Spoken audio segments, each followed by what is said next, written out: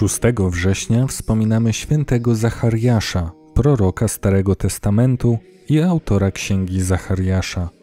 Zachariasz był synem Iddo, jego imię znaczy Jahwe pamięta.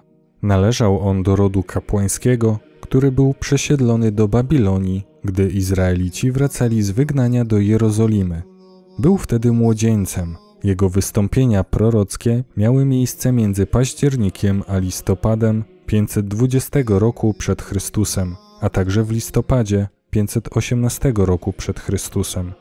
Nie wiadomo, czy dożył poświęcenia odbudowanej świątyni jerozolimskiej w 515 roku przed Chrystusem.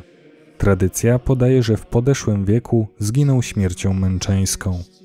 Zachariasz po raz pierwszy użył i wprowadził tym samym określenie Ziemia Święta. W swojej księdze umieścił proroctwa dotyczące odbudowy zniszczonej świątyni jerozolimskiej. Przedstawiał Jerozolimę jako miejsce zamieszkania Boga i centrum świata, dlatego tak ważne było odbudowanie świątyni i troska o jej piękno. Jak czytamy w jego księdze, Raduj się wielce, córo Syjonu, wołaj radośnie, córo Jeruzalem. Oto król twój idzie do ciebie, sprawiedliwy i zwycięski.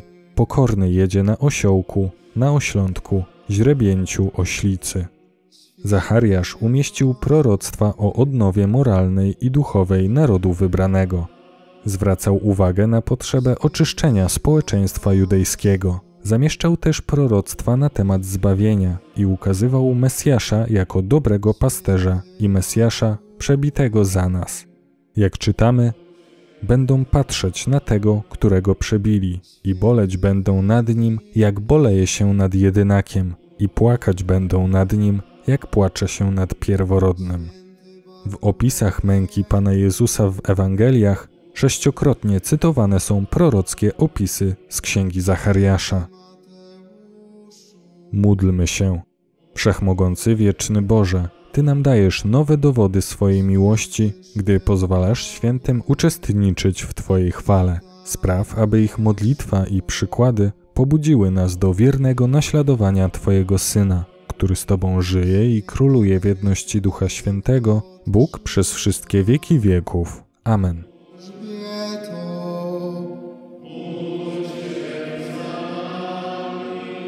Wszyscy święci, święte Boże.